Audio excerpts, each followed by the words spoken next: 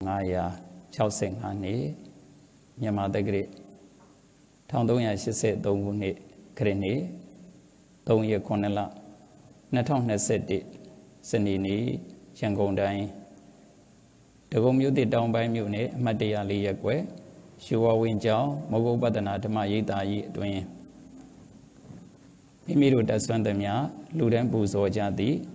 အလူဒါယကအလူဒါယိကမမိသားစုပေါင်းတော်ကောင်းတို့မှ အလူဒါယကဤဦးလန်ဆန်ဦးအလူဒါယိကမဤထောခင်ဆန်ဆန်ဝင်းတမိယရနာလေးတိတ်နန်ဒီလန်ဆန်ဦးနှင့်မိသားစုပေါင်းတော်ကောင်းတို့မှအလူဒါယိကမဤထောခင်ဆန်ဆန်ဝင်းဤ36နှစ်ပြည့်မြောက်မွေးနေ့မင်္ဂလာသို့ရောက်သောကာလတွင်မွေးနေ့ရှင်နှင့်မိသားစု၏အားလုံးအသက်ရှိရာအနာမဲ့ရေးရံပေးကင်းကြောင်း ကောင်းမှုမင်္ဂလာဖြာပြတို့နှင့်တလုံးတဝပြည့်စုံနိုင်ညစေဖို့ယင်ရည်တန်လျက်ရွှေဝန်ကျောင်းတိုက်ကြီးမှာအာယုံစွမ်းအာယုံချိုးပွဲနေစွမ်းနေအချိုးပွဲရည်မှန်းလျက်စက္ကလှူဒန်းခြင်းကျောင်းတိုက်တဲ့လုံးမှာရှိနေကြတဲ့တန်ဃာတော်အရှင်သူမြတ်၉ပါးအတွေ့နဝကမ္မစက္ကလှူဒန်းခြင်းခဲဝယ်ဘောဇင်တို့ကိုစက္ကလှူဒန်းခြင်းအစရှိသောမွေးနေ့ကုသိုလ် ကောင်းမှုတို့ကိုပြုလုပ်ကြတဲ့အလှတော်မင်္ဂလာပွဲကြီးဖြစ်ပါတယ်။ယနေ့မွေးနေ့ရှင်နဲ့အလှမွေးနေ့ရှင်အလှဒါရကအလှဒါယီကမမိသားစုပေါင်းတော်ကောင်းတို့နှင့်ရွှေဝင်းကျောင်းတိုက်ကြီးမှာ17ရက်နေ့တိုင်း17ရက်နေ့တိုင်းအာယုံစွမ်းကိုရည်မှန်းပြီးတော့လူတန်းပူဇော်ကြတဲ့လူရှင်လူမမိသားစုပေါင်းတော်ကောင်းများကတော့ဖိုးဖိုးနဲ့ဖွားဖွားတို့အားဥထိတ်ထား၍အလှဒါယက ဥခင်ကျော်အလုဒာယိကမဒေါ်ရီဆိုအာယရဏအောင်ကျော်တုဒမိသားစုပေါင်းတော်ကောင်းတို့မှာတာယရဏလေးဖြစ်တဲ့မောင်ကျော်တုဒဤမွေးနေ့ကိုအကြောင်းပြုပြီးတော့နောကမ္မလူတော်ငွေ9000ကျပ်ပညာရေးပရိသပင်လူတော်ငွေ9000ကျပ်နဲ့17ရက်နေ့တိုင်း17ရက်နေ့တိုင်းအာယုံစွမ်းရည်မှန်းပြီးတော့9လပိုင်းကနေ12လပိုင်းအထိ6လစာအတွက်အ လူတော်ငွေတသိန်း8000စုစုပေါင်းလူတော်ငွေ2သိန်း8000တို့ကိုစက္ကန့်လူဒန်းခြင်းအလူတော်မင်္ဂလာတို့ကိုပါဒီကနေ့ပြုလုပ်ကြမှာဖြစ်ပါတယ်17ရက်နေ့17ရက်နေ့တိုင်းရည်မှန်းပြီးတော့လှူဒန်းကြတဲ့အလှရှင်တွေယနေ့ဝေးနေ့ကိုအကြောင်းပြုပြီးတော့လှူဒန်းတဲ့အလှရှင်တွေနဲ့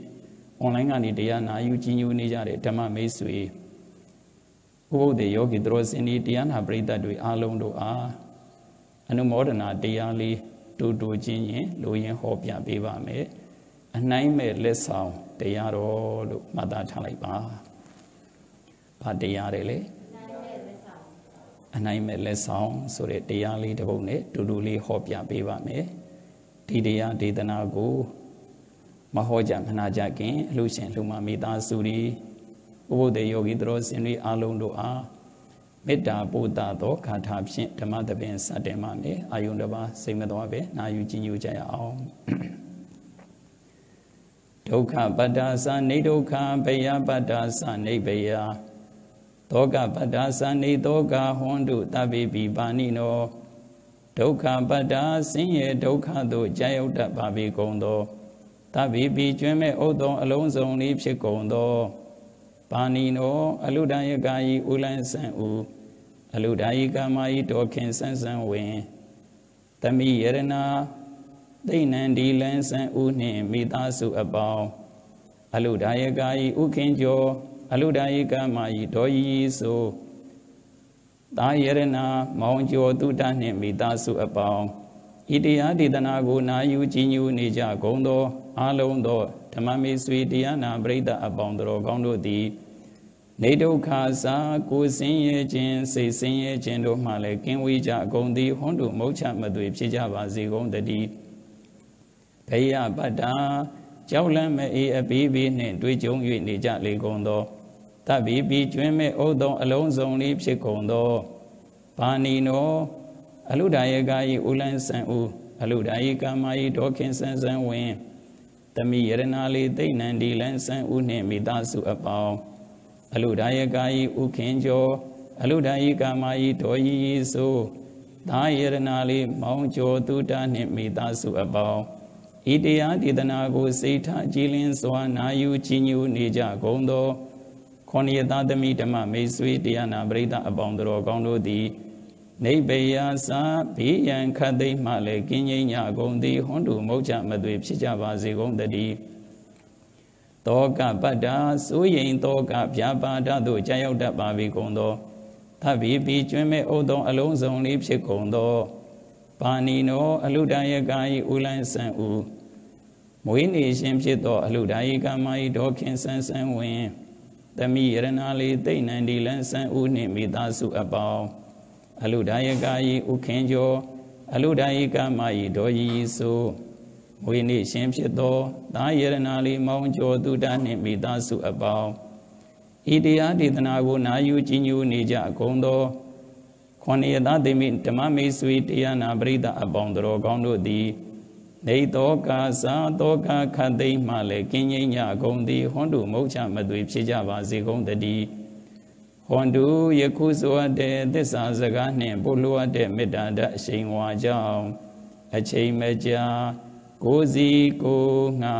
ကျမ်းမာချမ်းသာ၍ဝမ်းသာတော်မူနိုင်ကြပါစေကုန်တည်း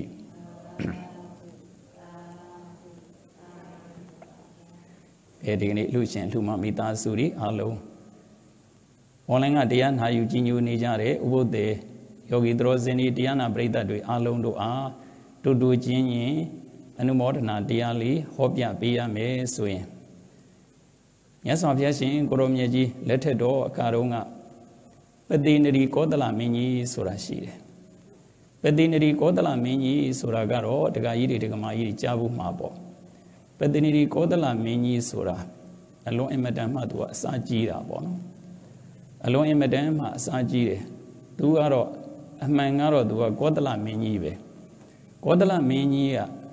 အလွန်အင်မတန်မှအစာကြီးတဲ့အတွက်ကြောင့်တဲ့သူကဘလောက်ထီအောင်စားတယ်လဲဆိုရင်တစ်ခါတစ်ခါစားရင်စံတစိမ့်နဲ့စိတ်တကောင်လောက်ကုန်တယ်လို့ဦးဇင်းတို့ဖတ်ခဲ့ဘူးတယ်မှတ်ခဲ့ဘူးတယ်ပေါ့စံတစိမ့်နဲ့စိတ်တကောင်လောက်ထီအောင်စားတာပေါ့အဲ့လောက်စားတဲ့အခါကျတော့ပတိနီကောသလမင်းကြီးကခန္ဓာကိုယ်ကြီးအကြီးကြီးဖြစ်နေတာခန္ဓာကိုယ်ကြီးအရန်ကြီးကြီးနေတဲ့ခါကျတော့ပတိနီကောသလမင်းကြီးကခန္ဓာကိုယ်ကြီးကလည်းပဲပင်မ တကယ်သွားရတာလဲလေးလံဆိုတော့ဒုက္ခမြပြင်းကြီးထိုင်းမိုင်းနေတဲ့သဘောရှိတယ်ပြင်းကြီးထိုင်းမိုင်းနေတဲ့သဘောရှိတဲ့ခါကျတော့တရားတွေလည်းခဏခဏမနာခြင်းမူဥပုံနေတရားစကံဘောတွေလည်းတိတ်မနာခြင်းမူစနေနေတိုင်းတနေ့နေ့တိုင်းနေလဲသိစိတ်ဝင်စားဘူးတသက်မှာတစ်ခါလောက်ပဲနာကျင်တာနဲ့တူပါတယ်တသက်လုံးမှာသူတစ်ခါတစ်ခါလောက်ပဲနာကျင်တာနဲ့တူတယ်အဲ့ဒါနဲ့မြတ်စွာဘုရားကိုလျှောက်ထားတယ် ဘုံတော်ကြီးမာတော်မူသောမြတ်စွာဘုရား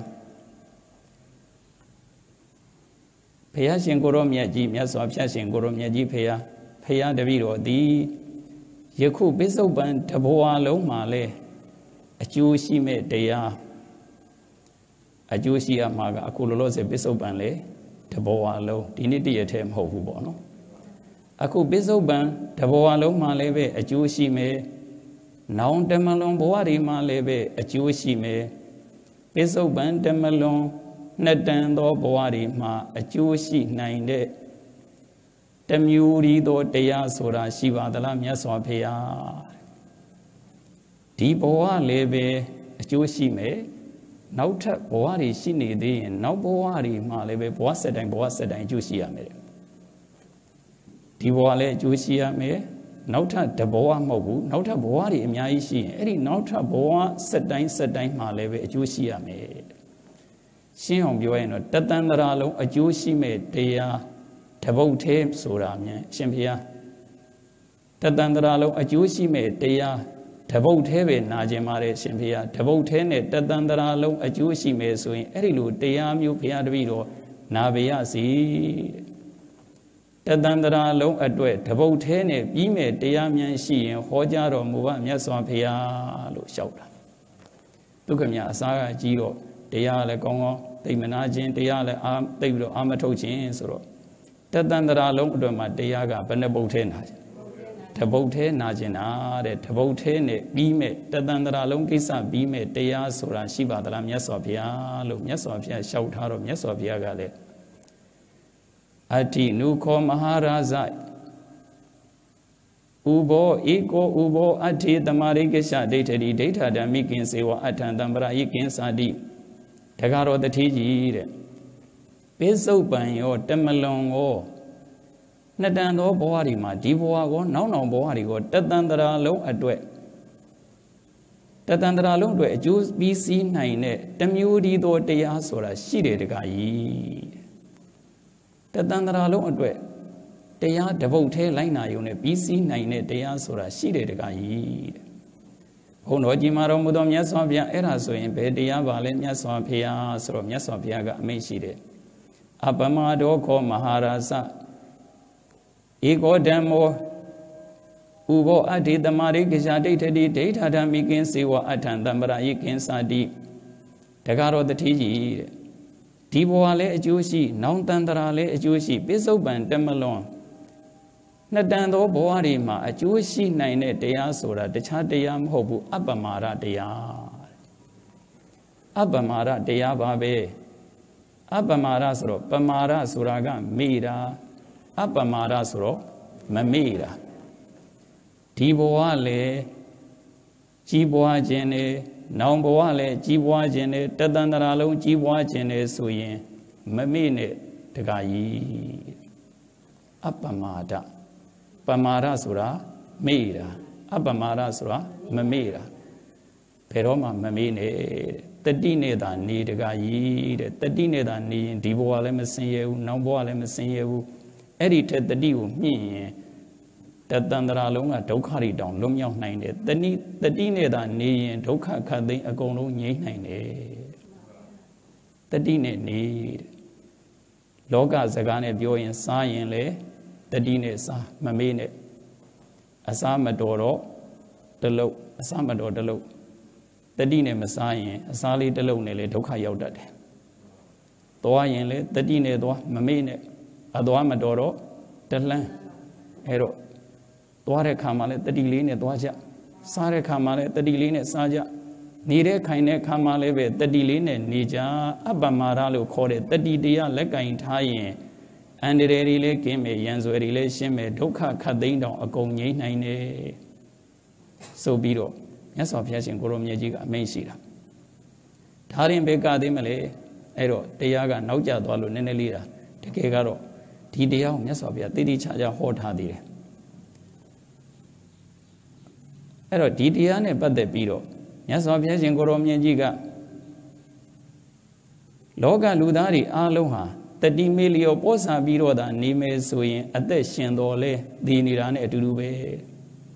မေတိမေယောပောတိပောဆသာနေရင်အသက်ရှင်တော်လဲပဲသိတာနဲ့အတူတူပဲပောတိပောဆနေတဲ့လူကတော့တဲ့အသက်ရှင်တော်လဲပဲသိနေတဲ့လူနဲ့အတူတူပဲ အပမာရလို့ခေါ်တဲ့တတိတရားလက်ကင်ထားပြီးတော့နေတဲ့ပုံကိုယ်တွေသည်အပမာရောအမတံပဒံနိဗ္ဗာန်ကိုသွားနေတာနဲ့အတူတူပဲတတိနဲ့နေရင်အန္တရာယ်လည်းကင်းနေရန်ဆွဲတွေလည်းရှင်းနေနောက်ဆုံးနိဗ္ဗာန်တောင်ရောက်နိုင်တယ်တတိနဲ့သာနေရင်နိဗ္ဗာန်ရောက်ကြောင်းတတိလက်လွတ်သာဘောဓိဘောဆနေရင်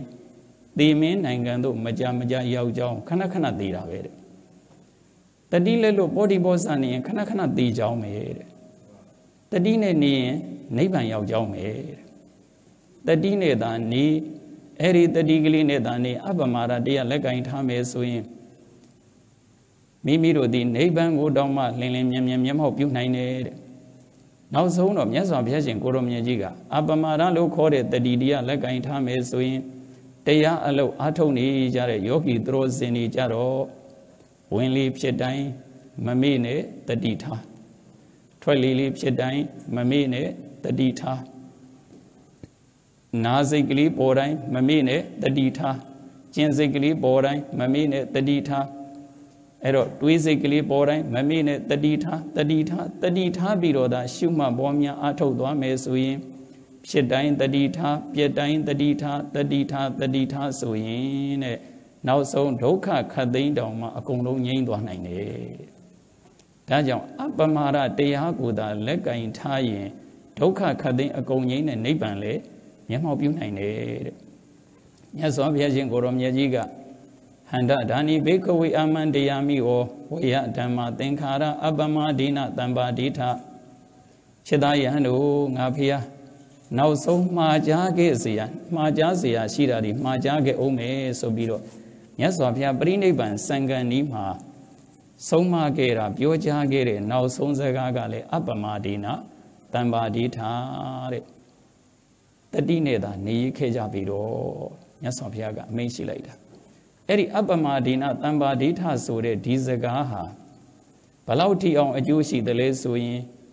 နိကေအနေနဲ့ပြောရင်9ရက်ပိဋကအနေအချင်းပြောရင်3ပုံဓမ္မခန္ဓာအနေအချင်း7400စကားတွေအားလုံးကိုချုပ်ပြောလိုက်တာ အပမာဒတရားကိုလက်ကင်ထားရင်ပိဋက3ပုံကိုလိုက်နာတာ ਨੇ အတူတူပဲတဲ့ဓမ္မခန္ဓာပေါင်း7400ကိုလိုက်နာတာ ਨੇ အတူတူပဲ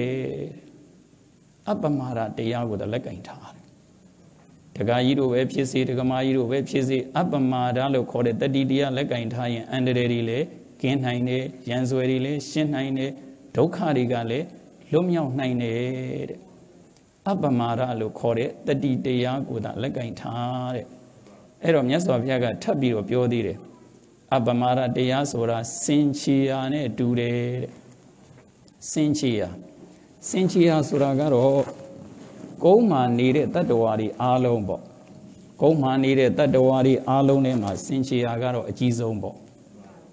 ကျန်တဲ့ခြေရာတွေအားလုံးဟာစင်ခြေရာတဲ့အကုန်ဝင်သွားတယ်လို့ပဲတဲ့ မြတ်စွာဘုရားရှင်ကိုရောမြတ်ကြီး45နှစ်ဟောထားတဲ့တရားတွေအားလုံးဟာလည်းပဲအပ္ပမာဒတရားတွေအကုန်ဝင်သွားတဲ့အပ္ပမာဒတရားကိုသာလိုက်နိုင်ရင်ကျန်တဲ့တရားတွေ45နှစ်စာအားလုံးကိုလိုက်နာတာ ਨੇ အတူတူပဲအဲ့ဒီအပ္ပမာဒတရားအတိုင်းသာလိုက်နာကျင့်သုံးရမယ်ဆိုရင်ဒီဘဝလည်းကောင်းစားမယ်နောက်ဘဝလည်းကောင်းစားမယ်ဒီဘဝလည်းငြိမ်းချမ်းမယ်နောက်ဘဝလည်းငြိမ်းချမ်းမယ် နောက်ထပ်ဘဝတွေဘယ်နှဘဝပဲရှိရှိငြိမ်းချမ်းနိုင်တဲ့တရားဟာအပ္ပမရတရားပဲအဲ့ဒီအပ္ပမရတရားလေးကိုသာလက်ကင်ထားသွားမယ်ဆိုရင်ဒုက္ခခတ်သိမ်းအကုန်ငြိမ်းပါတယ်တဲ့တတန်တရာလုံးအတွက်စိတ်အေးရပါတယ်တရက်အတွက်စိတ်စိတ်အေးရတာလားတတန်တရာလုံးအတွက်လားတတန်တရာလုံးအတွက်တဘဝအတွက်စိတ်အေးရတာလားတတန်တရာလုံးအတွက်လားတတန်တရာလုံးအတွက်ကိုစိတ်အေးရတယ် တတန်တရာလုံးအတွက်ကိုမှစိတ်အေးခြင်းနဲ့ဆိုရင်ဘယ်တရားလက်ကင်ထားမယ်အပမာရတရားလက်ကင်ထားတဲ့အပမာရတရားကိုသာလက်ကင်ထားမမေ့နဲ့မမေ့နဲ့တတိတရားတတိတရားလက်ကင်ထားတတိရှိပါစေမမေ့နဲ့မမေ့နဲ့ဆိုပြီးတော့ကိုယ့်ကိုယ်ကိုသွားရင်လည်းမမေ့နဲ့တတိလေးနဲ့သွားစားရင်လည်းမမေ့နဲ့တတိကလေးနဲ့စားနေတဲ့ထိုင်တဲ့ခံမှလည်းပဲတတိကလေးနဲ့နေဆိုပြီးတော့အမြဲတမ်းတတိနဲ့သာနေရင်အန္တရာယ်တွေကလည်းကင်းရန်ဆွဲတွေကလည်းရှင်းမယ် တရားအထုတ်တဲ့ယောဂီသူတော်စင်တွေမှလည်းပဲဝင်လေဖြစ်တိုင်းတတိနဲ့ရှုထွက်လေဖြစ်တိုင်းတတိနဲ့ရှုဖြစ်တိုင်းတတိနဲ့ရှုပြက်တိုင်းတတိနဲ့ရှုနောက်ဆုံးဒုက္ခခတ်သိမ်းအကုန်ငိမ့်တဲ့နိဗ္ဗာန်ထိအောင်ဟောဒီအပ္ပမာဒလို့ခေါ်တဲ့တတိတရားနဲ့မျက်မှောက်ပြုနိုင်တယ်တဲ့အပ္ပမာဒတရားဟာအပမာဒတရားကိုယ်သာလက်ကင်ထားမယ်ဆိုရင်အဲ့ဒါ45နှစ်စာတရားတွေအလုံးကိုလိုက်နာကျင့်သုံးမိသားဖြစ်သွားပြီတဲ့ အဲ့ဒီအပမာဒတရားကိုယ်သာလက်ကင်ထားမယ်ဆိုရင်တဘဝစာမဟုတ်ဘူးတတန်တရာလုံးစာအတွက်စိတ်အေးရတယ်ဒါကြောင့်ဒီကနေ့တက္ကကြီးဦးလန်းဆန်းဦးရောတက္ကမကြီးဒေါခင်ဆန်းဆန်းဝင်းတို့မိသားစုတွေမွေးနေ့ကိုအကြောင်းပြုပြီးတော့အခုကောင်းမှုကုသိုလ်တွေပြုလုပ်တယ်ဆိုတာကိုဦးစင်းကအခုမွေးနေ့ဆိုတော့လောကလူသားတွေကတော့လောကီဝတရားအရာ မွေးနေ့လက်ဆောင်တွေပေးကြတယ်ခရစ်စမတ်လက်ဆောင်တွေပေးကြတယ်အဲ့ဒီလက်ဆောင်တွေကတော့အဲမိမိတို့ရဲ့မိတ်ဆွေတွေတငယ်ချင်းတွေပေးတဲ့လက်ဆောင်တွေကစားစရာတောက်စရာဆိုရင်တော့တနေ့စာခံမှာပေါ့အသုံးဆောင်ပစ္စည်းဆိုရင်လည်းပဲဒါလေးမပြတ်မချင်းတော့ခံမှာပေါ့အဲ့ဒီလက်ဆောင်တွေကမကောင်းဘူးလားဆိုတော့ကောင်းတယ်တဲ့တိုက်တလုံးပေးတယ်ကားတစ်စီးပေးတယ်ခြံနေပေးတယ်အဲ့ဒီလိုလဲဆောင်နေရရင်လည်းပဲတဘဝစာတော့အဆင်ပြေမှာပေါ့ ဒီကနေ့တရားလက်ဆောင်ကြတော့တဘဝစာမဟုတ်ဘူးတတန်တရာလုံးစာအတွက်စိတ်အေးရတယ်အပမာရတရားကိုသာလက်ကင်ထားရင် လောကီမှာလည်းပဲအောင်မြင်မှုတွေရရှိနိုင်တယ်လို့လောကုတ္တရာဘက်ကလည်းပဲနောက်ဆုံးဒုက္ခခတ်သိမ်းအကုန်ငြိမ့်တဲ့ထိအောင်တရားဓုတရားမြတ်တွေရနိုင်တယ်တဲ့ဒါကြောင့်အဲ့ဒီဒုက္ခခတ်သိမ်းအကုန်ငြိမ့်တဲ့တရားဓုတရားမြတ်တွေရခြင်းနဲ့ဆိုရင်တော့မှဘာတရားလက်ကင်ထားမယ် အပမာဒတရားလက်ကင်ထားရင်တဘဝစာအတွက်မဟုတ်ဘူးတတန်တတန်တရာလုံးစာအတွက်စိတ်အေးရတယ်လို့မှတ်ပါအဲဒီတော့တတန်တရာလုံးစာအတွက်စိတ်အေးခြင်းနေဆိုရင်ဒီကနေ့အလို့ရှင်အလှမမိသားစုတွေအားလုံးကိုဦးစင်းကအခုတရားနာပရိသတ်တွေအားလုံးကိုအခုလိုကြုံကြိုက်တဲ့အချိန်ခါမှာဦးစင်းကဒီကနေ့ဓမ္မလက်ဆောင်တရားလေးတစ်ပုဒ်ပြောပြပေးလိုက်တယ်ဒီကနေ့ဓမ္မလက်ဆောင်တရားလေးတစ်ပုဒ်ကတော့မမေ့နဲ့ဆိုပြီးတော့ မမေ့နဲ့ဆိုတဲ့စကားကလေးကိုဦးစင်းကဒီကနေ့ပြောချင်တာပေါ့နော်ဒီကနေ့ပြောချင်တဲ့စကားပါတယ်လေမမေ့နဲ့စားရင်လည်းမမေ့နဲ့သွားရင်လည်းမမေ့နဲ့နေတဲ့ထိုင်တဲ့ခါမှာလည်းမမေ့နဲ့တတိကလေးနဲ့သာနေတဲ့အဲ့ဒီတတိနဲ့သာနေရင်နောက်ဆုံးနိဗ္ဗာန်ထိတောင်ရောက်နိုင်တယ်အဲ့ဒါကတော့တရထဲလိုက်နာရမှာလားတသက်လုံးလိုက်နာရမှာလားတတန်တရာလုံးလိုက်နာရမှာလားအဲလိုက်နာနိုင်ရင်တတန်တရာလုံးတွေအကျိုးရှိတဲ့တရားပဲ အဲ့ဒီလိုတရားကလေးကိုမှတ်သားပြီးတော့လိုက်နာကျင့်သုံးရင်တတန်တရာလုံးတွေစိတ်မအေးရမှာလားအေးရမှာလားအေးတတန်တရာလုံးတွေစိတ်အေးရမယ်တရားကလေးအပမာဒတရားလက်ကင်ထားကြပါဆိုတဲ့တရားကလေးဒီကနေ့လက်ဆောင်ပေးလိုက်ပါပြီဒီကနေ့ပေးတဲ့လက်ဆောင်ဟာ